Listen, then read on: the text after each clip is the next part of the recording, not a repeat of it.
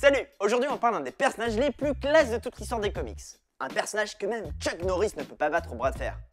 Un personnage créé en 1962 chez Marvel Comics, créé par Stanley et Jack Kirby. Bref, aujourd'hui on parle de Hulk.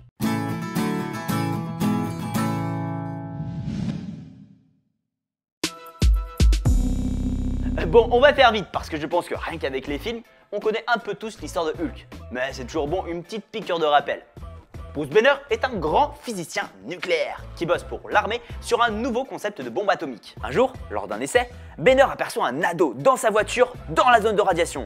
Tel un bon héros qui se respecte, Bruce Banner se précipite pour sauver l'enfant. Mais il va se faire irradier au passage. Les radiations le changeront et feront de lui Hulk. À présent, lorsqu'il s'énerve, Bruce Banner devient la masse de muscles toute verte la plus connue. N'en déplace aux géants verts, Hulk est là pour casser des culs et pas pour vendre du maïs.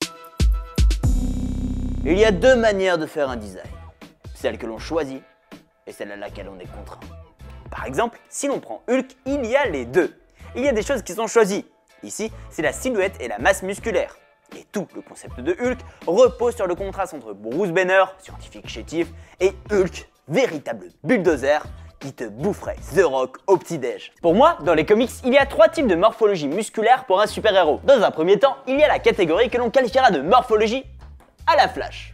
Il s'agit d'une silhouette musclée très sec mais tout de même réaliste pour un sportif de haut niveau. L'idée, avec des personnages qui possèdent ce genre de morphologie, c'est d'en faire des petits gars agiles à la Nightwing ou à la Spider-Man. La seconde catégorie, c'est la morphologie à la Superman. Clairement, là, on est sur des proportions idylliques des dieux grecs. C'est pas réaliste, mais c'est pas l'intérêt. Pour moi, c'est ce que je considère comme la plus difficile à faire car on flirte très vite avec le too much. Bref, gros respect aux dessinateurs qui dessinent ce genre de perso. Et la troisième catégorie, c'est ce que j'appelle la morphologie abusée. Là, c'est plus humain. Concrètement, le but, là, c'est de s'émanciper entièrement du réel, d'y aller à fond, et ça peut atteindre parfois des sommets. Personnellement, c'est la catégorie que je préfère dans les trois qu'on a vus. Pourquoi? Parce que c'est la plus fun. Bref, Hulk fait partie de cette troisième catégorie. Mais Bruce Banner, le côté humain de Hulk, lui n'est pas dans l'une des trois catégories. Dans une quatrième, la morphologie humain de base. Là, ça va un peu du mec enrobé au gars scientifique maigrichon comme Bruce Banner. Ainsi, le contraste entre les deux facettes du personnage est tellement énorme qu'elle fait sens. Maigre pour le scientifique introverti et monstrueux pour la bête dévastatrice qui sommeille en lui. Ensuite, il y a la couleur, car ce qui fait de Hulk un personnage si iconique, c'est cette couleur verte.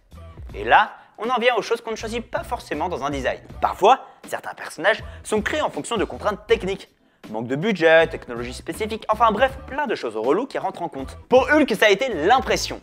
À la base, Hulk était gris. Il avait été pensé ainsi, Hulk gris. Mais à l'époque, dans les impressions, bah, le gris passait mal. Alors Stanley et Jack Kirby ont décidé de prendre la couleur qui passait le mieux dans les imprimantes, la couleur verte. Il y a une vision à laquelle je ne crois pas, c'est celle de l'homme providentiel, ou plutôt du génie qui reste assis devant sa table, papier et crayon à la main, et qui sort une histoire uniquement de sa tête, sans s'influencer de rien. Une sorte de mec suprême à l'intellect artistique surdéveloppé et qui sort un concept du néant. Un mec auquel on devrait lécher les orteils pour montrer notre admiration. Je n'y crois pas. Tout simplement, je pense que si l'on reste assis tout seul devant sa table, on finit par perdre l'esprit à brasser du vent tout en se masturbant sur son propre supposé génie. Pour moi, une bonne idée, un bon concept vient du partage et de l'influence et je vais tenter de vous expliquer ma vision en prenant la création de Hulk comme exemple. Je ne crois pas que l'homme puisse inventer des choses à partir du néant. Pour moi, on ne fait qu'imbriquer des éléments déjà existants avec d'autres pour en obtenir une nouvelle. Une chose plus une autre en égale une troisième. Ainsi, la relation qu'entretient Bruce Banner et Hulk est inspirée du roman de Dr. Jekyll et Mr. Hyde. Le roman, écrit par Robert Louis Stevenson, racontant l'histoire d'un scientifique qui sépare son bon côté de son mauvais côté le docteur Jekyll laissant parfois la place à Mr. Hyde, le monstre qui sommeille en lui. Hulk est basé là-dessus, mixé avec la vision de son époque, la peur de la bombe H, de comment celle-ci peut donner naissance à des monstres parmi les hommes. Le tout baigné dans la culture du super-héros, culture dans laquelle baignait Stanley.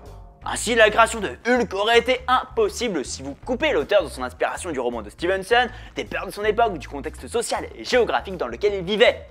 Et là, part encore du principe que Hulk n'a été créé que par Stanley. Mais si c'est son nom qui apparaît au scénario, Hulk c'est le fruit de dialogue de deux hommes, Stanley et Jack Kirby. Enlevez Jack Kirby et je suis certain que vous obtenez un Hulk radicalement différent. D'ailleurs, là encore on reste focalisé sur deux hommes. Mais soyons logiques. Ils n'étaient pas dans leur cave à parler tout seuls, ils avaient des collègues, des proches qui pouvaient rebondir sur des idées. Stanley demandait d'ailleurs souvent l'avis de sa femme.